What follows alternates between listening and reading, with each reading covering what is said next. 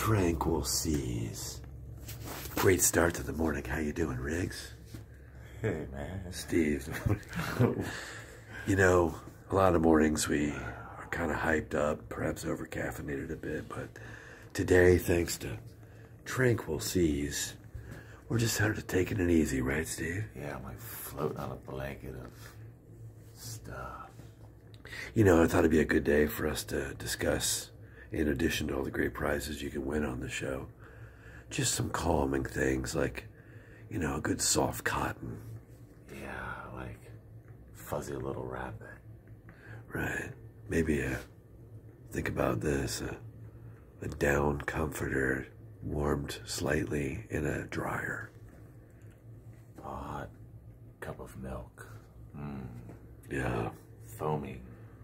Warm milk. is- Oh, Yeah, yeah. What about this? The tiny little puppies lick to the cheek right here just under the eye. I'm not drinking no more.